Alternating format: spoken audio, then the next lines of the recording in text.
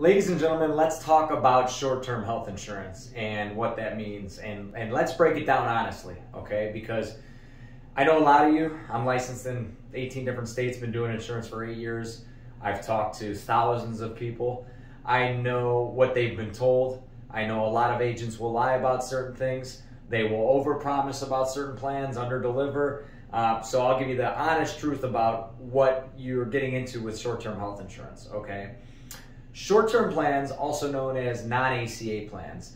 Uh, there was a time about four or five years ago where the government was only allowing us to write those plans for three months. So they were really, truly only supposed to be kept, you know, in the middle of a job or until you got on an Obamacare plan or, or something like that.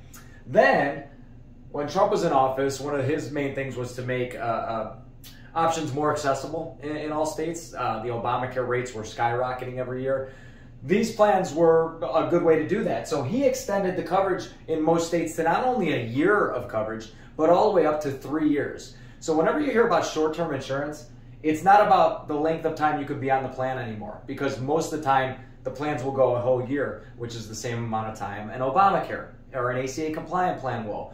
The nice thing though, certain states, it will allow you to sign up for three years where the, where the plan will auto renew year two and three, okay? Um, these plans are fantastic for catastrophic. We're going to get into that. Um, they're much, much less expensive for an individual or family than a full-blown ACA compliant plan, okay? And I talk to so many people. They'll say the same thing. I never go to the doctor, Joe. I just want to make sure I'm covered. If something catastrophic happens, if I break my arm and I got a $50,000 bill, or even worse than that, I'm diagnosed with cancer and I have a, a half million dollars in medical bills, I want to make sure I'm covered, but you can't get me to go to the doctor. Okay, these are fantastic plans for those types of people. Now, I will say, this is again me being honest, they're not for everybody. Okay, there are, these plans will not cover any major pre-existing conditions, and I don't mean somebody who's in their 50s taking blood pressure meds or cholesterol meds or somebody with a thyroid issue. I mean if you're diabetic, if you have serious asthma, if you've had cancer. Um, there's certain uh, health issues where you cannot even get on these plans, okay? But they won't cover any uh, pre-existing. Uh, another example I'd give you is if you broke your arm last month and you were going to have surgery next month, you can't get on a plan like this and it's going to cover it, okay? That's what the ACA plans are for that cover uh, pre-existing. The good stuff though is innumerable with these plans. They all of them in, in many states offer nationwide PPO networks, much better than you can get through the ACA or the Obamacare compliant plans. What a lot of people will do is they will go with a high deductible and then add supplements so they can keep their costs down. Because you go higher deductible, you take on more risk, you add supplements or riders to pay a lot of that risk in the, the most common scenarios you can meet it. So just like everything, I, I like to give examples for this type of stuff, okay? Um, so you got a family here of four. And and these plans, I I'll, I'll also add a caveat. They vary widely uh, um, in in different states. Uh, for instance, um, the state of let me think, like certain spots of Florida, these plans might be kind of expensive. These non-ACA or these short-term plans. Where in Indiana, Ohio, Arizona, uh, Mississippi, Louisiana, so many other states, the the rates are fantastic. For the same plan, that you could sign up for in one state, it might be twice the cost in another state. And that's the same with Obamacare. But let me give you an example of like this would be kind of like an, an example in Chicago. You got this family of four.